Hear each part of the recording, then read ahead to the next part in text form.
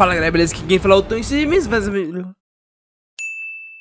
e hoje estamos aqui para mais um vídeo de batalhas bizarras. De um lado, Osiris, o stand de Daniel Darby. Do outro lado, Atom, o stand de Terence Darby. Esses dois são stands bem fortes, porém que depende muito do seu usuário. E os dois usuários desse stand são irmãos. Osiris é um stand automático que é ativado sempre que alguém perde uma aposta contra Daniel Darby. Mesmo que o jogo não tenha acabado, se a pessoa mentalmente admitir a derrota, o stand consegue roubar a alma dessa pessoa e a transformando em uma ficha de poker, fazendo assim com que o Daniel Darby tenha uma coleção de várias almas em fichas. Atom é um stand muito semelhante, pois ele possui a mesma habilidade de roubar a alma de seus inimigos, mas com uma habilidadezinha um pouquinho melhor, com a habilidade de ler a alma. Quando Terence faz uma pergunta de sim ou não, ele pode ler a alma dessa pessoa. Ele vê como se fosse um detector infravermelho lendo as almas. A pessoa fica com uma aura em torno do seu corpo e ele vê duas cores de aura. E quando uma pessoa mentir, essa aura irá mudar de cor. E quando ela estiver dizendo a verdade, essa aura será uma outra cor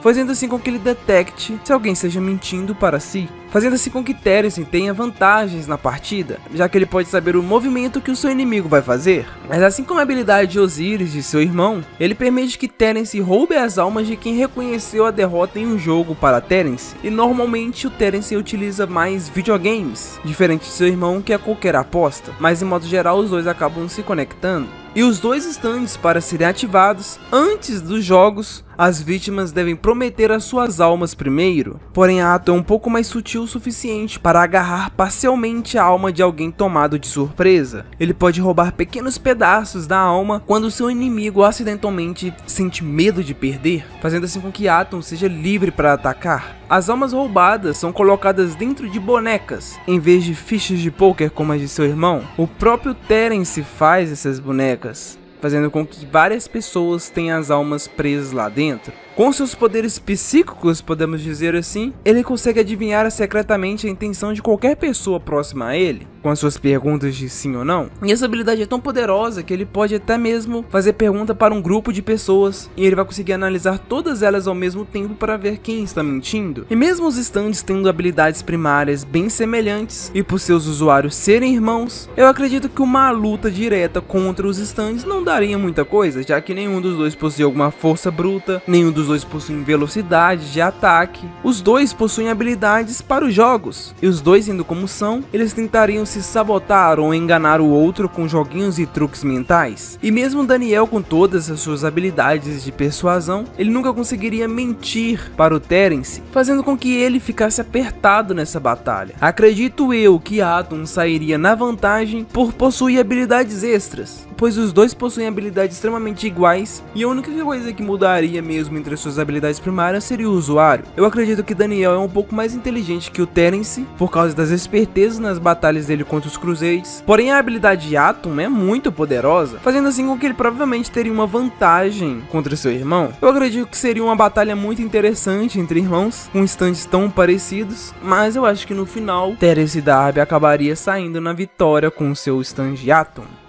Mas então é isso, pessoal. Muito obrigado por assistir esse vídeo até aqui. Eu espero que vocês tenham gostado. Comentei quem que vocês acham que venceria essa batalha, Atom ou Osiris? Deixa aí que eu quero saber a opinião de vocês. Se possível, acesse a loja do canal. Não se esqueça de se inscrever e deixar o seu like, que me ajuda demais. Muito obrigado por tudo, valeu, falou e até o próximo vídeo. Fui!